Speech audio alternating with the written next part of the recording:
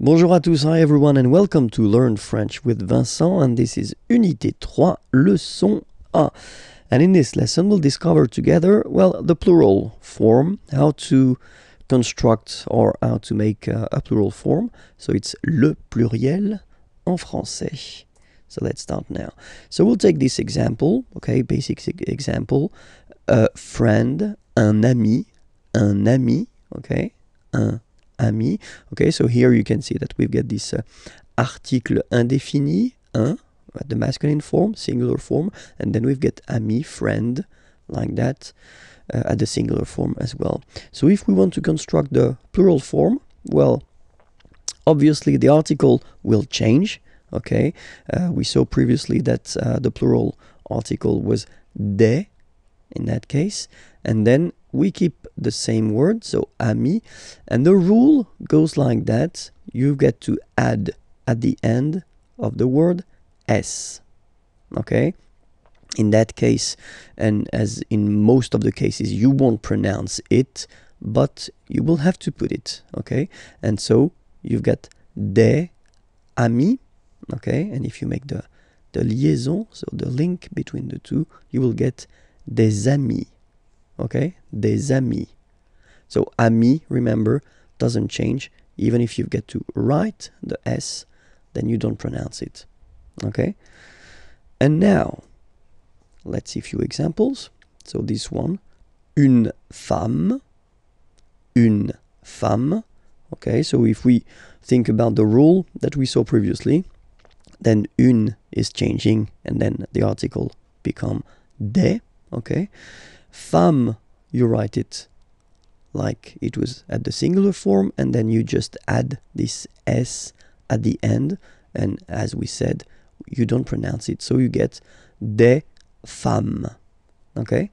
Des femmes. So une femme, singular, and then des femmes. Right? And then un homme, if we make this little link between the two, un homme un homme, un homme, and then we'll put this word at the plural form. So same thing here. So this uh, article indéfini un is becoming des in that case, and then you rewrite the word homme, and after that you just put the s at the end. You don't pronounce it, so you get des hommes, des hommes, des hommes. Okay, un homme singular form, des hommes plural form. Okay?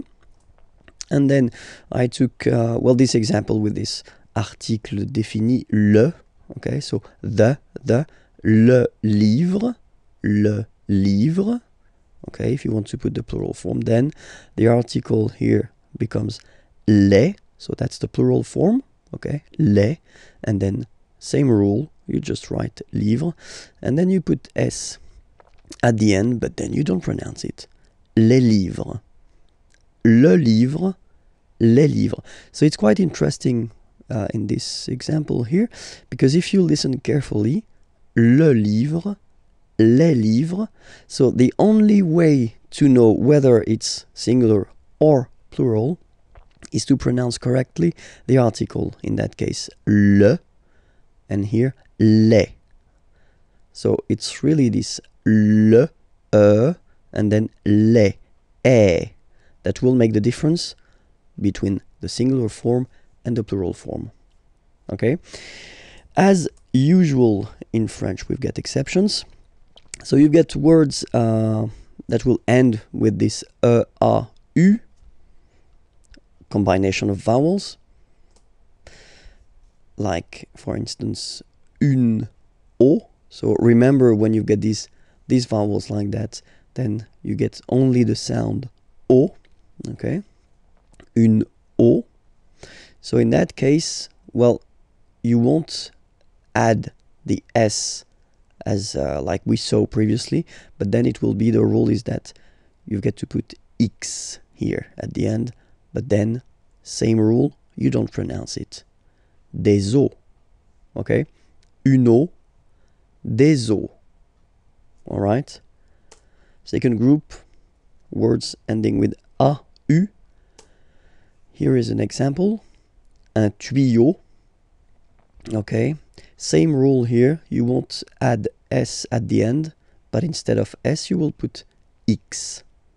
Okay, des tuyaux. Same rule, you don't pronounce it. Des tuyaux. Okay, un tuyau, des tuyaux. So the only difference will be with the article because the word will be pronounced the same way. And then the last group is uh, the words ending with e, u, e. So let's take one example. Un feu, un feu, and basically the same same rule. You don't put s, but you will put x instead, and then you don't pronounce it. Des feux, un feu, des feux. Okay, there is another group of words. So because normally uh, the words ending with the ou, like that here, ou, and then uh, the sound is u. Okay, normally these words just behave like the others, so uh, you just need to put s at the end.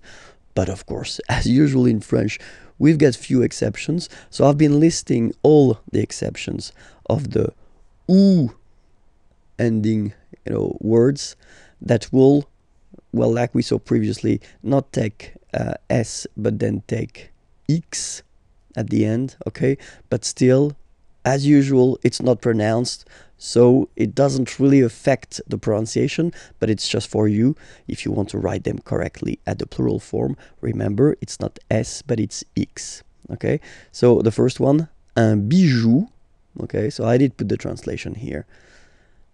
Pluriel des bijoux. Okay? Then, un caillou, un caillou, plural, des cailloux. Okay, remember, you don't pronounce it, the, the, final X. Then, un chou, okay, remember, when you combine this C and H, you get the sound sh, sh, sh, chou un chou, pluriel, des choux. OK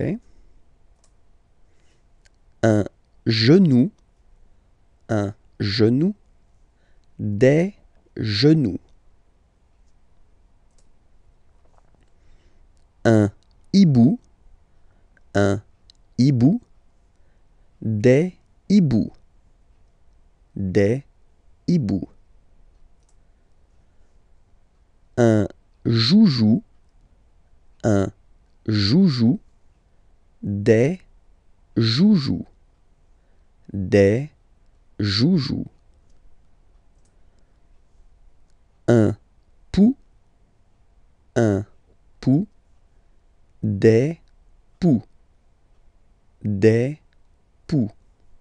Okay, so the good thing, if you remember carefully what uh, I've been introducing so far, is that the main main group of uh, words are actually you, you only need to add s at the end, and then you well basically you don't pronounce the the, the, the s. Or then the exceptions you will like these ones here. You will have to add this x at the end, but still you won't pronounce uh, the, the the x. Okay, um, but still as usual, we've got exceptions. So, a uh, few exceptions, not that much, but then uh, these exceptions are really, really strange because it does mean that the pronunciation will change. Okay, so we'll take this one, un bœuf, un bœuf, and then at the plural, well, you just write it like we saw previously, so you just add this s but then pronunciation changes quite much because you get des bœufs, des bœufs. All right, un bœuf, des bœufs. All right, then un œuf, un œuf, des œufs. Okay, and we'll make the, the liaison here to make it sounds more beautiful. Des œufs, des œufs, all right? Un œuf, des œufs. And then the last one, this is probably the, the, the, the most strange one, un œil, un œil, un œil, des yeux, des yeux, des yeux, yeux, yeux, okay? Don't pronounce the final X as usual. Yeux, yeux, des yeux, all right? And that's it for this lesson. So it was uh, the first lesson of uh, Unité 3, Unit 3. Uh, if you want to discover uh, the other lessons, well, it's here on YouTube, okay? And then the website is here if you want more material. Okay, have a great day. Bye bye.